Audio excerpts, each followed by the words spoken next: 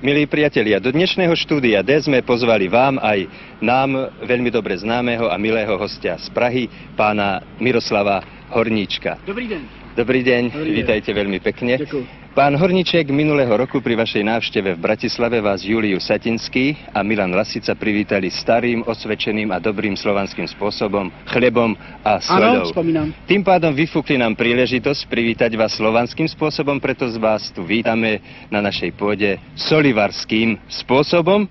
Tu je vrece soli. Oh. Je to výrobok aj dar prešovských solivarov. Skutečně vynikající slanost. Ešte teplá, Áno. zaiste. Jedna z nejslanějších solí, jaké jsem kdy ochutnal. Ja neviem, pravda, čo si počnete s týmto vrecom. Když dovolíte, já to použiju k osolení Máchova jezera, abychom mohli razit heslo Máchovo jezero naše České moře. Aj my železničiari vítame pána Horníčka.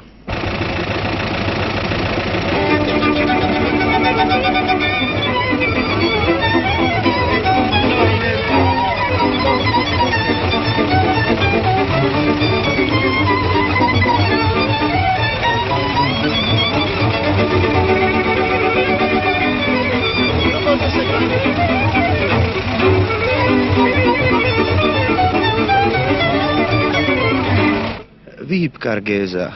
Poznáš toho pána? Jaj, persze, hogy, ezt ki nem ismerné. Kálmán Latabár.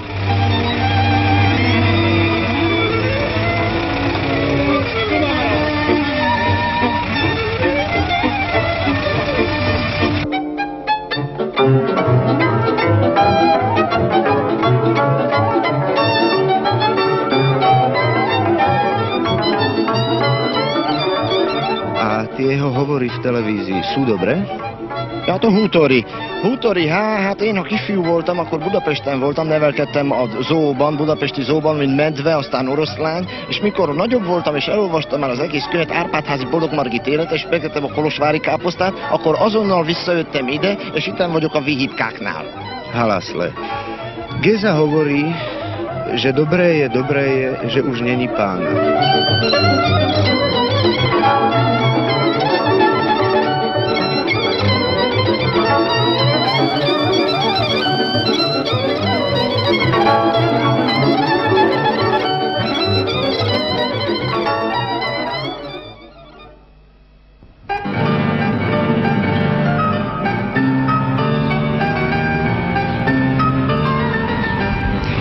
Slovenská televízia Košice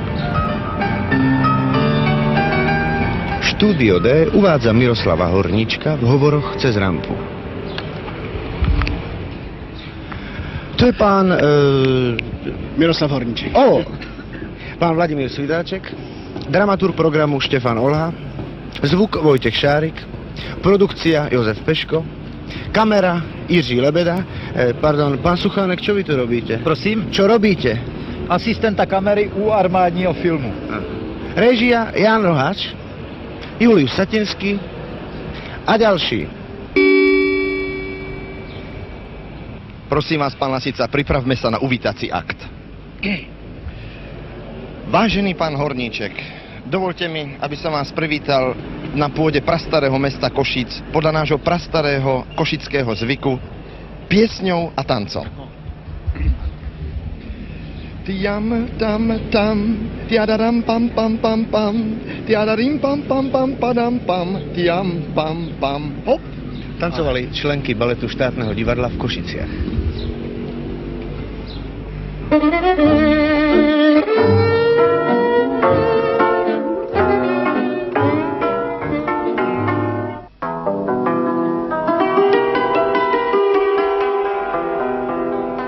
Každý má svůj způsob, jak procházet městem, kde je poprvé. V jedné povídce říká Karel Čapek, že jedna z jeho postav chodila především k řece, jako by to byla jakási tepna toho města. Někdo si to namíří k náměstí, které je takovým centrem, samozřejmě srdcem města. Já si myslím, že člověk má především chodit sám. Jít sám, vstupovat do uliček zdánlivě nezajímavých, do dvorů, dívat se na město z nejrůznějších úhlů a stran. A hlavně nespěchat. Zastavit se, vstoupit i tam, kam by se třeba normálně nešlo. Projít domovními vraty a ocitnout se ve dvoře, kde není žádná pamětihodnost, ale kde na pavlačích postávají lidi povídají si, hovoří, projít tím dvorem, rozhlídnout se, dívat se. Tady jsem spatřil tohoto muže. Znáte to? Někdy zůstane v hlavě melodie. Vrací se od rána do večera, vrací se, nedá se zaplašit. Mně zůstala v hlavě a v paměti tvář toho muže. Stál na sluníčku a díval se. Bez pohnutí. A já jsem se na něj díval a říkal jsem si, co asi vidí. A zdálo se mi, že to je tvář, která viděla mnoho. Možná, že bojoval v první světové válce. Možná, že bojoval někde na Pijávě, že by uměl ohromně vyprávět. Možná, že prožil a určitě prožil veliké bolesti a veliká štěstí. Ale všechno se to v něm tak nějak srovnalo. Když se díváte do té tváře, máte pocit poklidné roviny. A nebo řeky, která je plná hloubek. Díval jsem se na něj dlouho. A vracel jsem se k němu. A říkal jsem si, jak bohatá a krásná tvář člověka.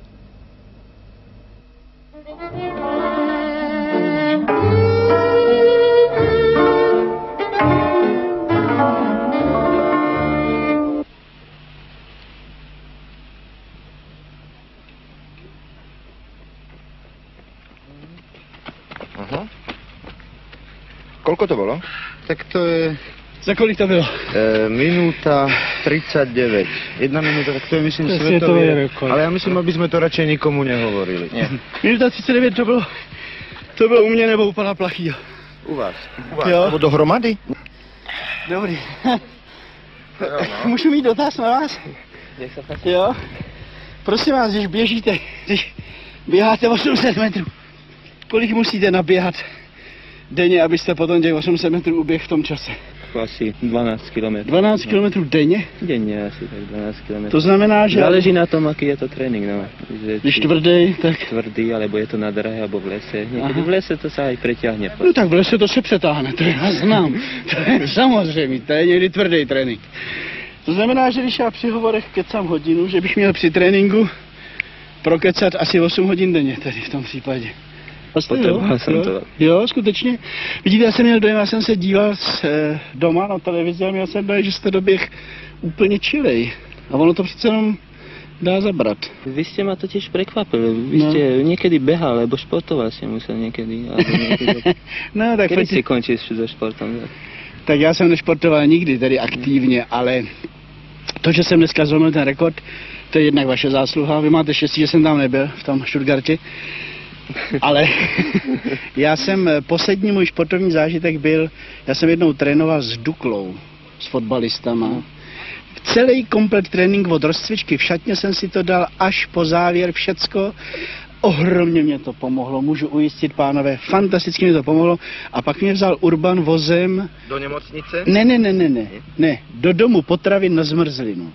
A já ještě u té zmrzliny jsem si liboval, říkal jsem si, tyhle tréninky já budu dělat pravidelně, to je ohromná věc, ale od toho stolu už mě nesli dva lidi. Ono nejhorší vůbec, co je, potom si sednout. Máte taky ten zážitek nebo zkušenost? To ja tiež mám tú skúsenosť a vždycky sa Jo. snažím po závode stať alebo Ano. pohybovať sa. No, nejhorší vůbec je po takovém rekordu si sednout. Tak pánové, já vám moc děkuju, podržte někdo tohle a odneste mě. Dobrý, je to dobrý, ale, ale je to krásná věc, ten sport je krásná věc. To je nádherná věc, já to budu dělat snad pravidelně. Áno, to by bolo dobré. Že Ja som jo. tiež dosť športoval. Ano. Ještě ty stopky, kdybyste mi přeměřil puls, prosím vás. Tak alebo mám pokazané hodinky, alebo ste mŕtvi. Koľko máte rokov? Já? Kolik byste řekla? 4, 45. Děkuju, to je hodná dívka. To je velmi laská dívka, 1,50 mě bude letos. No jo, jak se napřed podívala na vlasy, viděla bílý, šedivý vlasy. A kolik vám je let? 13. 13? Já hádal 16. no to je ještě poklona. Pro 13 letou je poklona, když pokládá člověk za 16 letou, jo? Já si myslím, že každý člověk žije a pracuje v nějakém prostředí a občas se mu stane, že zabloudí do jiného prostředí a najednou tam narazí na něco jako na vzpomínku nebo na nějaký klukovský sen. Dejme tomu, že profesor matematiky se jednoho dne dostane na jeviště, nebo chirurg za dirigentský pult čirou náhodou. A A nebo naopak, že uzenář se dostane třeba do operačního sálu a najednou cítí jeden, že měl být vlastně, nebo chtěl být kdysi hercem, jeden, že by měl být dirigentem a jeden zase, že by měl být chirurgem. Já mám taky takový jeden sen klukovský starý a vždycky znovu cítím takový zvláštní dojetí, nebo co to je, když se ocitnu na fotbalovém hřiště před brankou. Já jsem jako kluk chytával, nikdy neaktivně, já jsem nikdy nehrál fotbal, ale brankaři byli vždycky moje láska taková veliká a strašně rád jsem chytal v brance, jako student, jako malý kluk. Já jsem miloval z Plzně třeba Jabornickýho z Viktorie Plzeň a pochopitelně, jak si hrdina mýho mládí vůbec byl Plánička, snad proto jsem se stal slávistou a jsem dosud. Já vím, že bych to neměl v Košicích říkat, ale to se nedá nic dělat. Každý jsme nějak potrefen. Tak to je moje veliká láska, František Plánička a já sám kdykoliv se ocitnu v brance, tak se tak pozastavím a vzpomínám si na klukovský léta, protože to je můj Moje veliká láska. Tady bych mohl ještě v, ve svých 51 letech, myslím, že v Košicích bych vzal místo náhradního brankáře, protože tady je Švajlen a ten už 13 let nepotřebuje náhradníka, tak já myslím, že bych klidně mohl náhradního brankáře pro Košice vzít.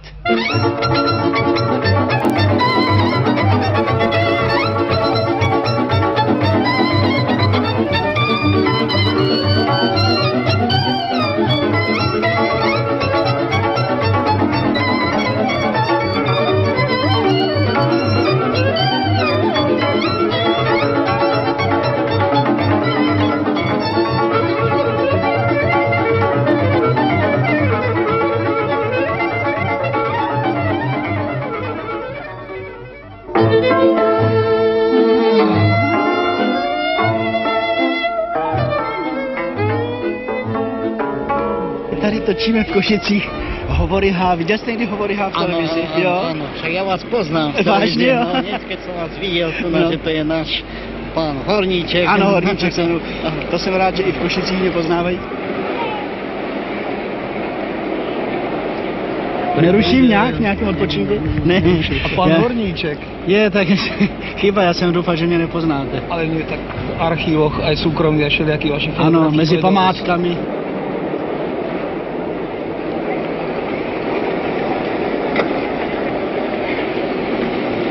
Dívali ste sa snad hľadu. Ano, ano, byl jsem na domu, na střeše domu jsem byl. Pomodliť sa predtým, aby to dobre dopadlo? No ne, já se e, přiznávám, nemodlím, ale e, někdy mám chvíle, kdybych se rád za leco spomodlil. Je, to by ste sa mi mohli za niečo prihovoriť. Viete, na vaše reči No. všelikde dajú, uh, vaše reči si všelikde dobre všímajú. Prosím Jo. vás, nemohli by ste mi vybaviť auto náhodou?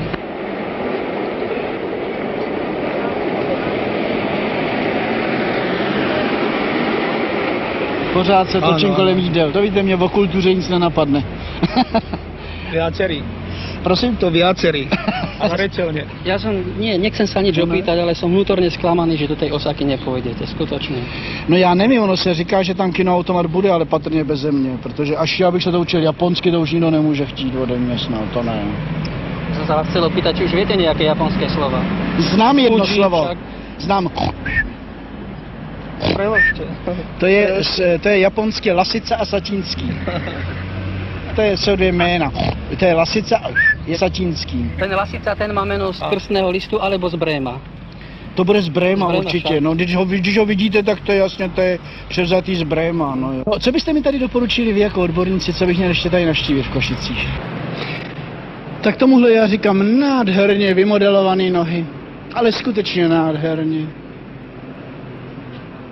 To se málo kdy najde skutečně. Všimněte si vážení, že někdy člověk i vidí tedy krásně vymodelovanou nohu, ale že v obě se takhle vyvedou v přírodě, to je vzácný. A pozorujte, jak se stupuje po těch schodech, jak tam má určitý půvab, rytmus, jak je v tom dokonce, bych řekl, přítomen tanec, krása pohybu, ladnost. Je to skutečně vzácná podívaná a já doufám, že kamera švenkne taky na horní části té dámy, která tady jaksi postupuje. Ano. Dobrý den, když dovolíte, eh, můžu na okamžik přisednout? Dobrý deň. Dobrý den. To ste vy tu v Košiciach. Ano, já jsem... Strašná náhoda. To není náhoda, to je osud. Já tady točím hovory. A vy tady žijete. Ja tu žijem. Áno. Vašich hovorov som veľmi veľa počula, bohužiaľ som nevidela ani jeden, pretože som v tom čase nebola doma. No jak je pak bohužel, vy jste byla pokud vím v Americe a navštívila jste například Hollywood. Mohla byste nám něco říct o Hollywoodu? Tak v... není to tak zaujímavé, ako som si predstavovala. Je to prostredie celkom pusté, ulice pomerne prázdne, ako všade v Amerike, teda priamo v Los Angeles. Snáď jedna zaujímavosť je tam.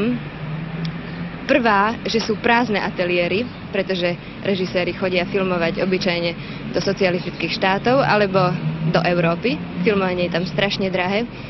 A druhá zaujímavosť, neviem, či ste počuli o tom Star Sidewalks. E, to je ten chodník s těmi jmény? Áno, áno, tie, ten dlhý chodník, na každej strane sú hviezdy. Ano, a kdyby to bylo v Praze, kdo myslíte například, že by tam byl? E, Neviem, poznáte ich však z Bratislavy, pán Lasica Satinský. Ano, a já si myslím, že po tom chodníku by chodili hlavně ženy, protože po těch strašně jdou ženy, po těch dvou.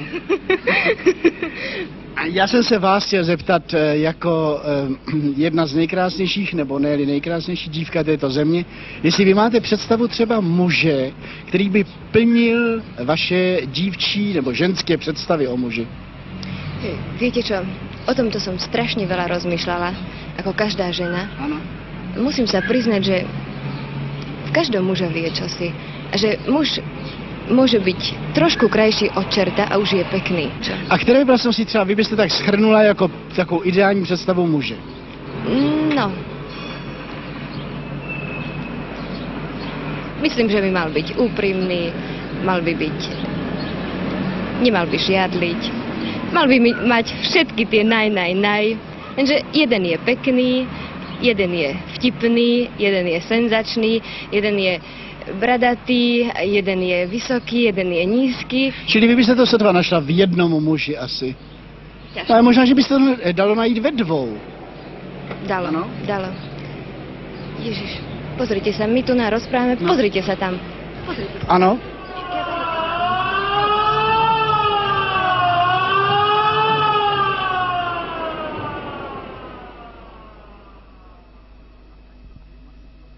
No, tak tohle je moje metoda, jak chodit cizím městem. Jak už jsem řekl sám. A třeba i zabloudit. A hlavně, hlavně nepospíchat. Dojít do nějakého kouta a tam pobít, posedět klidně. Například tady, před Košickým domem. Tady takový, takový malý prostor, takové malé zákoutí. Možná, že se tu mnohé dálo, byly tu třeba nějaké schůzky milostné, dostaveníčka, někdo tu čekal na někoho, někdo tu trpěl. A když člověk sedí a je úplně tiše, tak začnou k němu promlouvat ty cizí vzpomínky. Tady mi bylo dobře. Já vím, že někdo zasvěcený by vám o tom domu řekl víc než já. Možná, že i já bych se měl dozvědět a mohl dozvědět daleko víc, ale já dávám přednost tomu pobít, posedět, pomlčet. A tady jsem před chvilkou seděl, to je zajímavé, s Alžbětou Štrkulovou a tento dom je zasvěcen svaté Alžbětě. Já jsem si to nespojil v té chvíli, no tak člověk si těžko spojí světici s tak krásnou pozemšťankou. Ale patřili k sobě. Tak tohle je košický gotický dom, z kterého století vám přesně neřeknu, na to nejsem odborník, ale i jako like vím, že gotická architektura prý měla obracet mysl i zraky lidí k věcem nebeským. A já si myslím, že je někdy pro současníka zajímavý si vylézt na tu gotickou architekturu nahoru a podívat se odtud z hora na věci pozemské, ne pro ten pocit chvilkové nadřazenosti, ale proto, aby ty věci dostaly takovou jinou dimenzi, zajímavější. Tady je zajímavá věc, jedna na tomto kostele, na tomto domu, jsou hodiny, které eh, do každé strany ukazují jiný čas, někde půl čtvrtý, tři čtvrtě na šest a je třeba půl sedmý ve skutečnosti a nikdo to neopravuje. Možná, že se čeká na slepého mistra Hanuše. Jak tady tak sedím na tou vejškou gotickou, tak si připadám jako jedna slavná literární a filmová postava. Schválně si uhádnete kdo. Ano, správně, Quasimodo, zvoníku Matky Boží. Jednak jsem mu po jistých stránkách podobný, i když musím přiznat, že on měl ještě kulatější záda než já. A jednak, který se pohyboval taky v těch vejškách, ovšem s daleko větší jistotou než já, protože on, jestli si pamatujete, po té fasádě Notre Damu lezl až dolů. Já mohu vás ujistit, se o to nepokusím. Ale jinak, všimněte si, učiněný Quasimodo. To je co? A představte si, že to dělám osobně. Opravdu jsou herci, kteří na tyhle ty scény mají dvojníky, já to dělám sám. Je obrovský. Ha, teď jsem mohl spadnout. Kdyby vám dvěma dámy nabídli takovouhle scénu ve filmu, vzali byste to? Tak já bych se první rozhodla. Aha, a vy? Taky, že ne, že ne. Ale já nemyslím, že by vás štvali do vejšek, ale dejme tomu, že by vám nabídli scénu, kdyby vás líbali pánové Lasice a Satínský. Co vy na to? Tak já bych to nepřijímala. Že ne? Ne. A vy? Já s radostí. Z radosti, já vidím, že vaše kolegyně má větší odvahu než vy. Ale vy jste za to labužnice. Odpuste, že vás tady takhle přepadám. Máte doma televizi? A díváte se někdy? Ano. A díváte se e, e, na pořady s panem Horničkem? No. Takový ty hovory H, Hovory jak se ho lidi ano, ptají. ano. Takže vy znáte pana Hornička? Právě. Jo, tak to jsem chtěl říct, prosím vás, tady chodí po Košicích takový pán, který je mu velmi podobný a vydává se za pana Horníčka, tak prosím vás, kdyby vás náhodou obtěžoval, jo, tak abyste věděli, o co jde.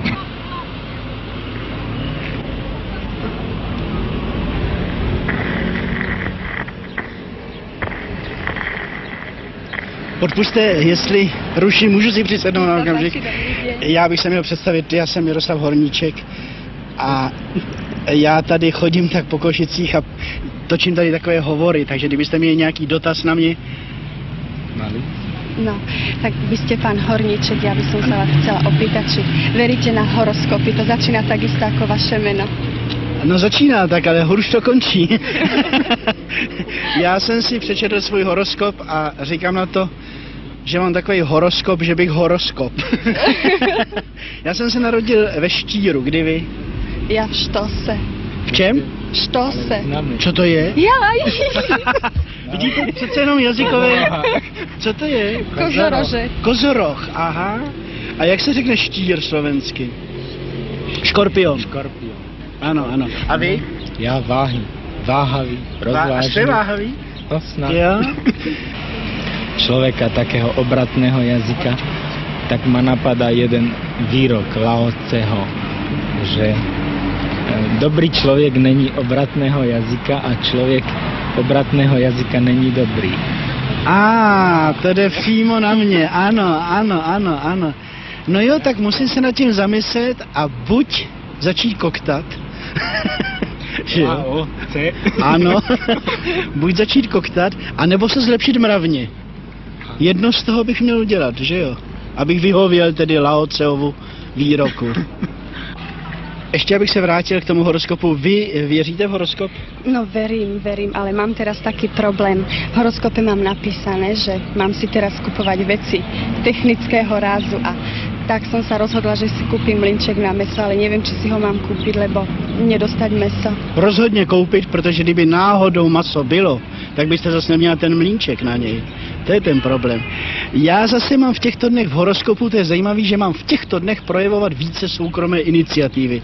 A tak bych se vás zeptal, co pak děláte dneska večer? Pardon. A co pak vy máte v horoskopu? Teda ja som hodne váhavý podľa horoskopu, ale v ten večer by som vás asi hodil do vody. tak radši ne. A v oba jsem vás chtěl upozornit na jedno, že tady po Košicích chodí člověk, který se vydává za Vladimíra Svitáčka a tvrdí lidem, že tady chodí někdo, kdo se vydává za Miroslava Hornička a klade otázky. Či kdyby k vám přišel ten, kdo se vydává za Svitáčka, rovnou s ním do kašny. Rovnou. Dobrý den.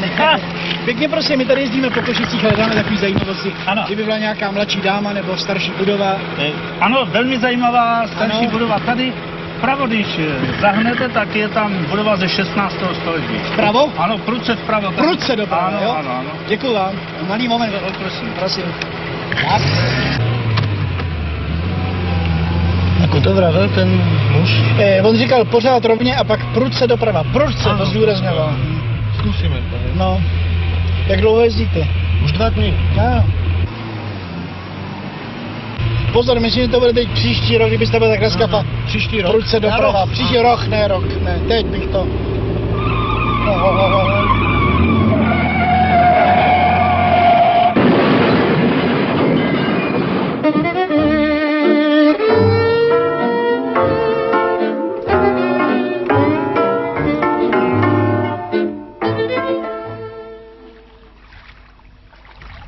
Pánové, jste přesvědčení, že tohle je ta pravá silnice?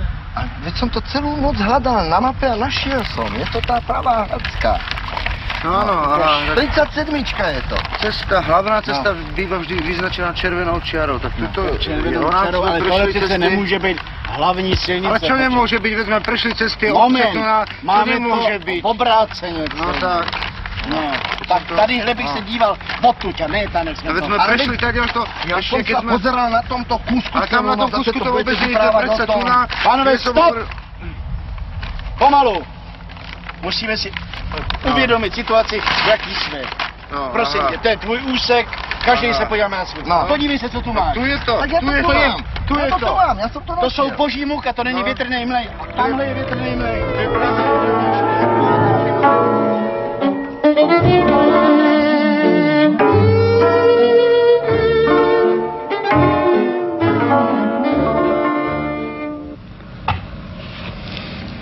diváci, podívejte se, to je přímo klasický záběr. Dole Spišské podhradí, žhavá současnost, tady Spišský hrad, vychladlá minulost. A my tři, podívejte se, vypadáme tak nějak buditelsky, jako bývali v některých českých filmech, když se tak setkala taková společnost, když starší buditel zasvěcoval mladé, ještě neúplné buditele, neprebuděné eh, do buditelstva. A kdy, znáte to, jak se vždycky oslovovali ve filmech, aby bylo zřetelno o koho jde, tak říkali tady pan Palacký a, a už přichází Ano. paní Božka, tedy mysleli Němcová, že Ano. Budete kávu, paní Eliška, to je Ano. paní Krasnohorská. řekli stranou, tak jako, Ano, ano. tak i my tady tak sedíme jako tři takový buditele. Nenapadá vás Hmm. ve dřichu nějaký motiv při pohledu na krajinu? Da, da, da, da. Ano, ano, ano. A co vy, Alojzi, co píšete nového? FL věk. A, to je krásný věk, jinožský. Já mám vůbec rád starý hrady. Já si strašně rád prohlížím hrady a nejradši mám, když jsem provázen po hradě. Neštěkej, Milane. Jednu věc bych chtěl vysvětlit. Čím to je, že třeba takový průvodce po hradu je to člověk, který hovoří s vámi o, běž, o běžných věcech, naprosto tedy běžným hlasem, že jo, vypráví vám, co měl k obědu, jaké má starosti a tak dále. A najednou vy začne vykládat, čím to je, že nasadí ten profesionální tón toho provazeče. Mně se to stalo jedno, já jsem šel s takovým průvodcem přes dvůr k zámku a vykládal mě tyhle běžné věci, ptal se, co v Praze děláme, jestli něco filmujeme a kdy zase bude televize to nebo ono. A takový hovory měl a jdeme, jdeme přes ten dvůr zámecký, pořád mluví to prostě normálním hlasem a překročíme ten práh toho zámku a v té chvíli, jako by se v něm přetrhlo péro, nebo naopak pustilo péro. Spustil. Bez předchozího varování. Ano, ano, ano. Spustil. Již ve století 14. tento závěk byl budován s účelem původním sloupeckém, už později přestaven. A čo sa zbláznil? Nie, ja to som je? si to všimol, to je taká profesionálna deformácia, Áno. ktorá je vo viacerých povolaniach, nie iba v tomto sprievodcovskom. Ano, ale ano, i v, i v hereckém, i v hereckém. Aj v ano. hereckém. Herec vyjde na jeviště a začne mluvit jinak najednou. Ano, tak, ano, ano. ako sprievodca. Tak, Ano, ako přesně, sprievodca, skoro jako, tak, tak, tak. Já bych to chápal v 50. letech, ale i dneska se ti průvodci tak vyskytují, že Ano. najednou prostě spustí tímhle Ano. tím tónem. Já... To a. Veľmi Je to- smiešné. Jo, prosím vás, Nepochopitelné. když už tady Ano. e, jsme na tom hradě, Ano. projdeme se. Vy o tom víte jistě víc než já. Ano, samozrejme. Že bychom si o tom něco řekli. se hradě. Tak, nachádzame sa v rytierskej sále Spišského hradu, ktorá je bujne zarastená trávou. Ale odjak živa tomu tak nebolo. Keď postavili tento hrad, v tejto rytierskej sále bol krásný mramor, mramorová podlaha a tu sa schádzali, rozchádzali a prichádzali rytieri u zlej princeznej Anny. Princezná Anna vykoristovala pracujúci ľud a to vykoristovala takou mierou, že potom na to doplatila, ako hovorí ľudová povesť slovenská, tým, že sedela raz v záhrade, kde chudera zaspala a jeden had jej vliezol do ucha a druhým uchom jej vyliezol von. Nakoľko však hadová koža bola otrávená, celé jej uši boli otrávené a v hrozných krčoch princezná Anna zomrela. Prosím, prejdime teraz k jej hrobu. To je hrob princeznej Anny. Dobrý deň, Anička. Uh, halo! Milan! Julo! Milane! Kde jsi? A Milane! Kde je Julo? Tu som! Kde? Tu som, chlapci moji, tu som! Kde je Julo? Tu som, pod tebou, au! Dole? No, Mírko, prosím tě. Co je? Prosím tě, preboha tě prosím. Co chceš? Nemáš cigaretu? Halo, Milan, Julo, kdybyste se takhle narovnali, já... Počkej, já bych vás... Takový dvojportrét. Aj mňa, aj mňa. No samozřejmě. Blíž k sobě, blíž. Ještě? Jo. Blíž k sobě. Blíž k Bože sobě, můj. bože můj. Teď se tam skoro oba. Ať, ať. Moment, já si odložím. Tak, kdybyste dovolili, pánové, výrazivo bych prosil. A? Milane, Mám taky dojem. takový výraz, jakože, Ano. jo, tak eh, Ano. to je nádhera. Ano. Jo, To teď, fotograf, jo, oba, ještě, moment, ještě. moment, já bych to vzal Tak, oba, počkej. takhle bych to vzal. Ano, beru, pozor, Je tam film, ne, ne, ne. ne, dobrý, pozor, beru. Jsem Dobrý. taky pocit, že jsou fotografované. Pozor, No. teď bych tam vzal. Máš tam to emulzie? Jo, jo. Tak, ne? Tak, Ano. počkej, já jsem ještě takto, podí, Teď zblízka, teď si kdyby si Takto? lehnout takhle, Aha, jo. Počkej. Teď, prosím tě, teď. Ano? Teď je to. Ano, ano, ano.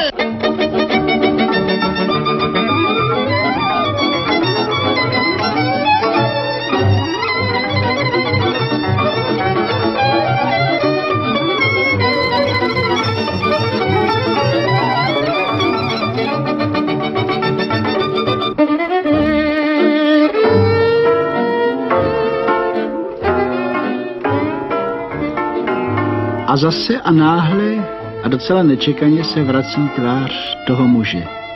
Co všecko asi zažil, znovu si to říkám, znovu se ptám a dívám se někdy i sám na sebe do zrcadla a říkám si, to je zajímavé, že každé stáří není tak naplněno osudy a bohatstvím, že některá tvář, i když zestárne, tak skoro by se dalo říct, toho tak moc nevyjadřuje.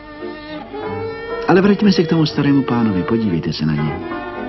Je krásný, řekl bych. A do dneška je mi nesmírně líto, že jsem se ho na něco nezeptal. Ale znáte to, ostych, tréma. Já mám trému před takovým mužem. Bylo mi líto ho vyrušit, stál nehybně na sluníčku a díval se. Díval se. A já jsem si říkal, co asi všecko vidí.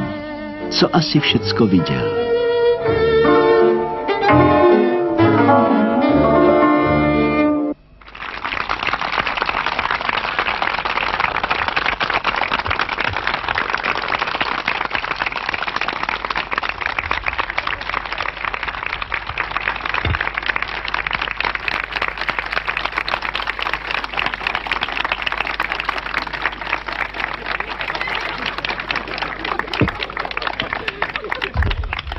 Dobrý den, je taková krásná česká, československá tradice, že pracující občas rekreují.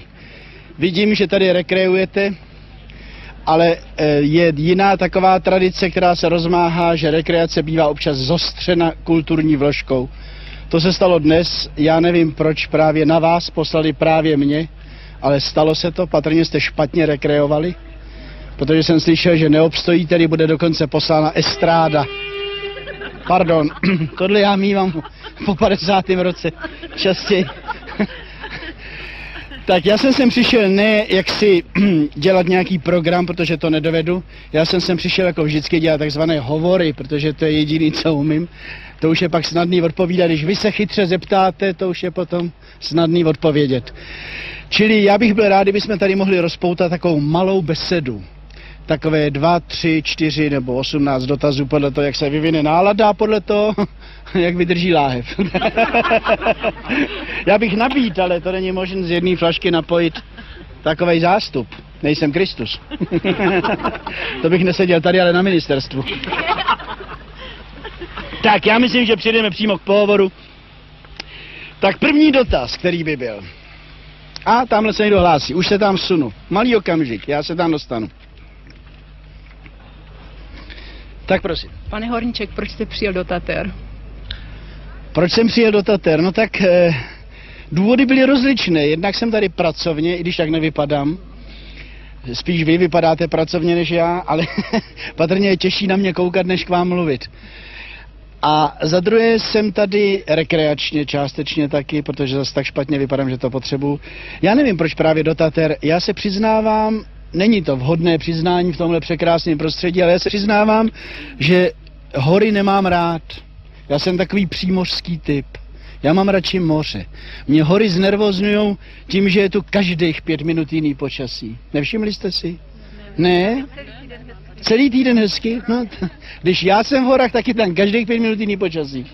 Ale to se to tedy prostřídá od severáku až po vedra tropický.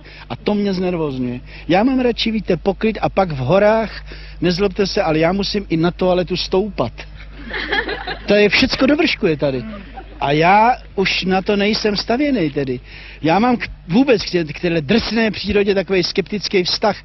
Já bych se zeptal tady přítomného Juli Satinského na jeho vztah k přírodě. Tak práve preto ste mi veľmi sympatický, pán Horníček, pretože ani ja nemám rád prírodu. E, tvrdím totiž, že je veľmi nebezpečná, najmä horský vzduch. Ja tvrdím, že to treba dávkovať. Že e, človek, keď príde, povedzme, z mesta na hory, tak má vydržať takých 10 minút a potom rýchle zase do baru alebo do vinárne. Viete? A potom pridávať postupne až po takých 15 minút. Ja som sa napríklad zlakol, keď sme stúpali sem na strechu hotelu Morava, Morava že tu bude strašný e, vzduch ostrý, ale potom som uvidel komín, ktorý tu tak trošku ten horský vzduch Ano. robí prístupnejším pre nás, ktorí nemáme radi prírodu. Ano. Děkuji, velmi správný postřeh to byl. To bylo děkuji, já si taky pomalu zvykám na přírodu. Minule už jsem vydržel 20 minut. No tak to je úspěch. To už je úspěch, ano. Pak jsem vás našel tam dole. Celýho zařechaný.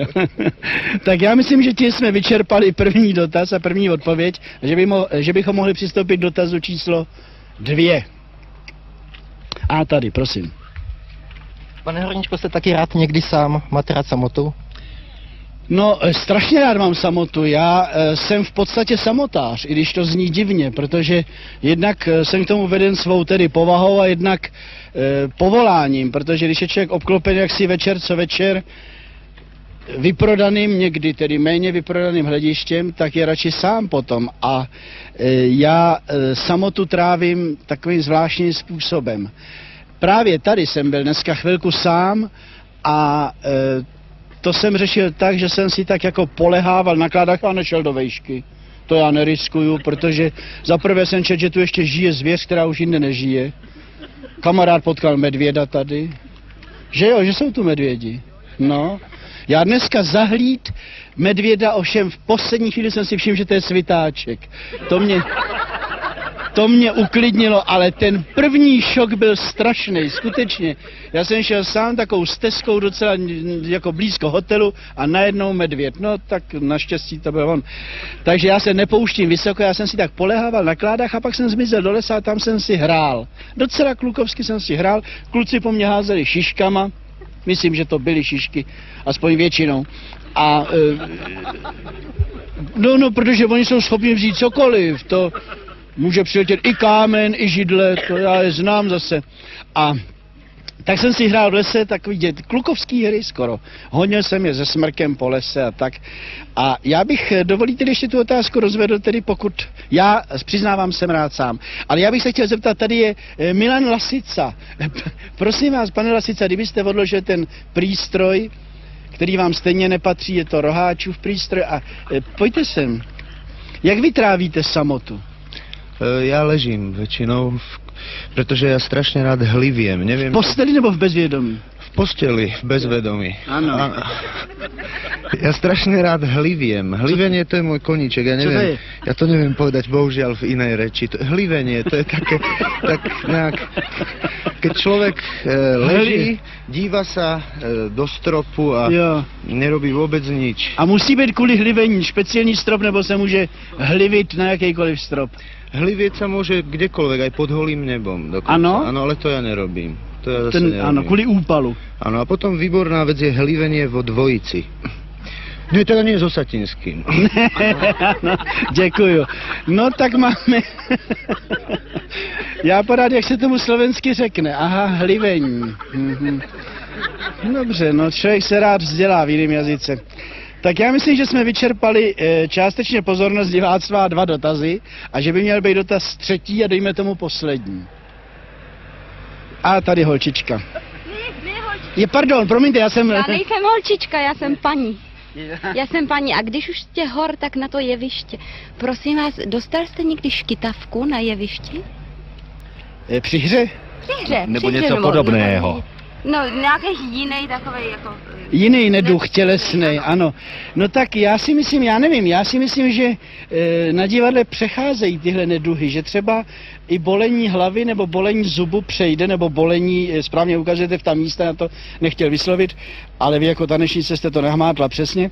E, já myslím, že to přechází. No, e, Ota přece ví, e, dejme tomu, když tě bolí hlava, bolí tě i během hry, nebo ti začíná se popřestat? Ne, na to si člověk ani nevzpomene při hraní. Já taky myslím, že ne. No, na hlavu ne, ale... No na hlavu vůbec při hraní nemyslím, to je samozřejmě, to je to posled, po, poslední. na To ustoupí, to ustoupí, ale jsou bolesti, které neustoupí, nebo takový jako... Škytavka říkala, škytavka, správně. škytavka. No tak mně se nestalo, že bych dostal škytavku, ale viděl jsem jeden krásný případ, to bylo na Ochotnickém divadle, kdy Vojnarka dostala kejchavku. Ve vážném dialogu s Antonínem Haulem začala kejchat a to bylo nádherný, protože na něj ostře mluvila něco, já nevím, já tu hru moc neznám. E, Nehrál si Antonína Haula? Ne, ne, nehrál. Jak je to možný? To nevím. To je šílená škoda pro kulturu. tak ona měla ostrý dialog s Antonínem Haulem a během toho dialogu vždycky dělala pš. a zase mluvila dál pš. a zase znovu na něj a 15krát během toho dialogu vždycky stranou tak diskrétně, jako aby to nebylo do hlediště nebo na Antonína, že jo. Jo? A pak to se zrychlovalo, to bylo krásné. Ale to bylo vůbec krásné představení, ta vojnarka. Tam byly takový, Víte, já mám takovou teorii, že já málo kdy přijdu do divadla, strašně málo kdy, já až se stydím, jak málo kdy vidím, vidím divadlo, tedy zvenku, z jeviště ne. A já mám takovou teorii, že je krásnější chodit na ochotníky, protože to, co se děje na profesionálním jevišti, si člověk všecko už předem dovede představit. Ale to, co vymyslejí ochotníci, ne vymyslejí, ale dokážou, to je, to je opravdu nepředstavitelný. No a právě v tomhle představení se stala nádherná věc na jevišti. Tam je taková slavná scéna, kdy ten Antonín Haulů se nakonec zastřelí. A tam se vždycky něco stane. To už dokonce se stalo jednomu herci, že mu třikrát selhala bambitka a protože musí umřít, tak se uškrtil na tom dvoře. Sám se vzal za krk a uškrtil se. A Vojtovi se stalo, že mu selhala bambitka a vzadu měl vystřelit rekvizitář a ten nevystřelil tak Vojta, to bylo ještě u malý kočovn společnosti, vypravuje, jak sáhl, honem skočil do zákulisí a první, co nahmát v dámský šatně, byla kulma, to železo na pálení vlasů, jo.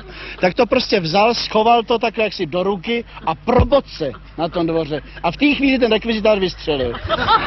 Tak tam se vždycky něco stane. A tady, jak jsem to viděl u těch ochotníků, tak tam byla nádherná věc. Ten Antonín pad, tam se podařilo, že se střelil nádherně pad a ta vojnarka říká, odneste ho a starý vojna říká, jako ještě protestuje, ona říká, ne, ne, ne, tohle si ještě vyřeším sama a pak vás budu poslouchat až do smrti. A na to odneste ho, je tam schromážděný ten personál toho statku, protože to je hra ze života kulaku. A já jsem tam hrál kdysi Martina Pohonče, proto to znám, to je mladý čeledín. Před lety jsem to hrál. A vím, že nikdo pochopitelně toho Antonína neodnáší, protože po těch čtyřech, pěti větách padá opona. Ale tady byl mladý nadaný ochotník, který když slyšel odneste ho a hrál toho čeledína, tak skočil a vzal toho mrtvého Antonína za nohu, v domnění, že tedy ostatní iniciativní se chopí ostatních údů ze snulého Antonína, že jo. Ale nikdo už k němu nepřišel a tak on s tou no- nohou v ruce vyčkal, dokud nespadla opona. To byl vůbec nejkrásnější závěr vojnarky, jaké já jsem kdy v životě viděl. Já jsem tím proboha nechtěl, eh, si všimněte, napadnout ochotníky, já jsem sám z nich vyšel, protože já nemám konservatoř, ani AMU, já jsem samouk, čili já nemám nic proti ochotníkům, já jenom říkám, že na ochotnickém jevišti se někdy stanou tak krásné věci, že škoda, že to tak zanikne v, v kritické nepozornosti, abych tak řekl. No, milí přátelé, já už vás ponechám vaší rekreaci, protože myslím, že kulturní vložka nemá být přetažena. Loučím se s váma, mějte se tu moc moc hezky. Přeju vám i v dalších dnech tu pohodu, kterou jste tu zažili, navzdory mému tvrzení. Přeju vám slunce, vzduch a vodku, eh, vodu. Naschledanou zase v hovorech H v Praze. Naschledanou, přátelé.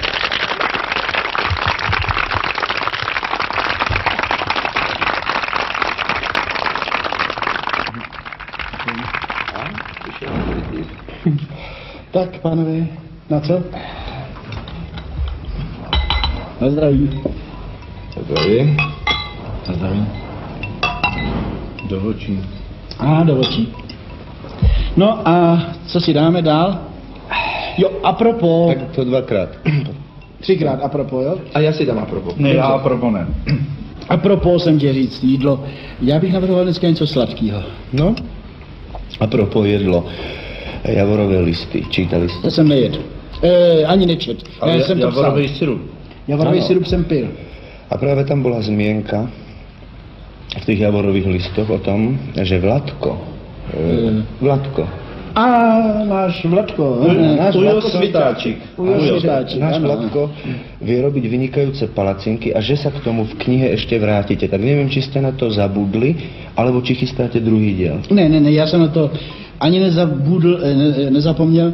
Já jsem původně chtěl tu palačinku do té knihy vložit jako záložku, takovou jako ukázku. Ako gramoplatňu. Jako gramoplatňu, tak, A ale dlouho, dlouho chutnající, Ano. ale nebylo to možné, nedovolili mi to. A ono se to stejně nedá popsat. To Ano. se prostě musí, jeho palačinky se musí zkusit. A propo zkusit. Eh, pane řediteli, prosím vás, když už jdete náhodou kolem, máte nejaké prianie? Veliké přání. Prosím vás, já vím, že eh, vaše kuchyně je profesionálně na nejvyšší úrovni, to jsme už tady zjistili, ale můžete do ní na okamžik pustit amatéra. No, jistě, Jo, samozřejmě. tady pan režisér Svitáček No, by zhotovil palačinky pro nás. Je to možné? Samozrejme, nech sa páči. Výborný, To je- to je, to je, tak na ty palačinky. Je tak, aha.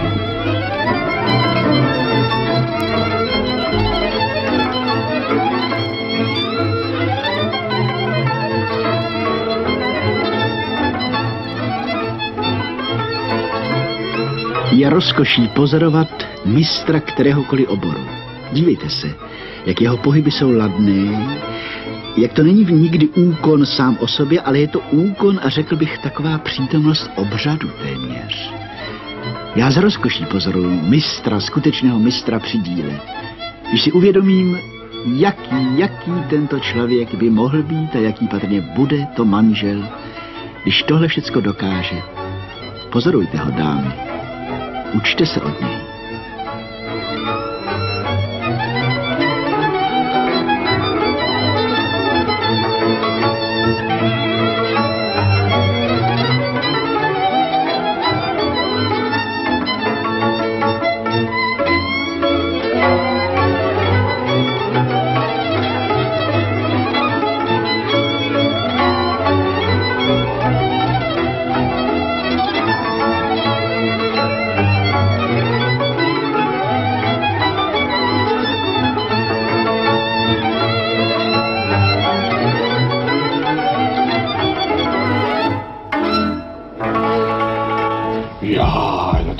Tak to sú palacinky ako remeň. No. Čím se to jí? Tou, eh, tím nebo tím? Tou? Lyžicou sa to kráje. Podle toho, v který zemi. Aha. Je nádherné. No, to je nádhera. Výborné. Páni?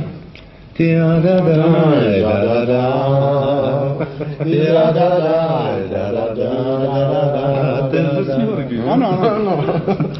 To je v tom momentě. Ano. No tedy, no, pánové, mluvte, říkejte nahlas, říkejte, no. Fantastické. Mm. Fantastické. Fantastické. Ovšem všimněte si, že pan Cvitáček jediný na to má čokoládu. Ano? Já bych vás chtěl upozornit, že ta čokoláda, kterou on chystá na palačinky, Ano. je výborná nejen na chuť, Ja nemám. ne, já taky ne, Ale?